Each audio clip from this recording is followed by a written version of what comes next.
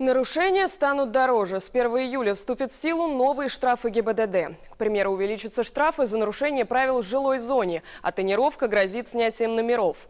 Вот как прокомментировал эти нововведения депутат Госдумы Антон Ищенко.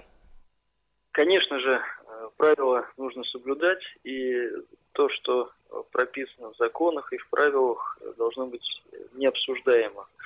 Поэтому без разницы, какой будет штраф, мы просто должны приучить э, себя в первую очередь э, соблюдать законы.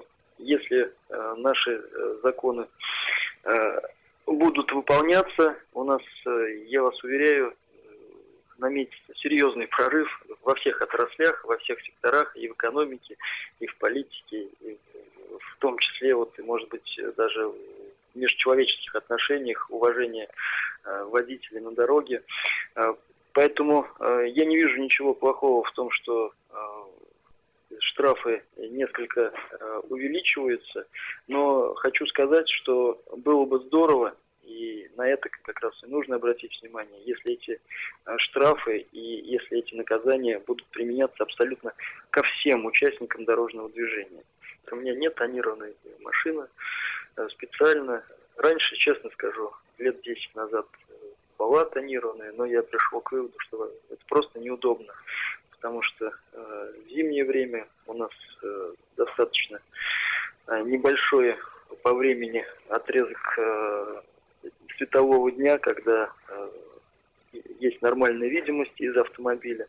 А в вечернее время, в пасмурную погоду, обзор очень сильно затруднен, поэтому Э, использование тренировки посчитал невозможным и поехал самостоятельно ее снял.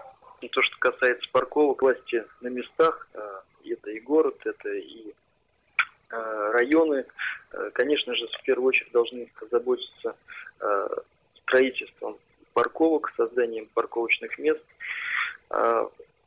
Возможно, что именно отсюда и возникнет э, первая необходимость, когда э, население сможет понять ужесточающиеся штрафы, если будет рядом свободные э, места на парковках, куда можно бесплатно поставить автомобиль, то, конечно же, люди будут выбирать законный и легитимный способ хранения своих транспортных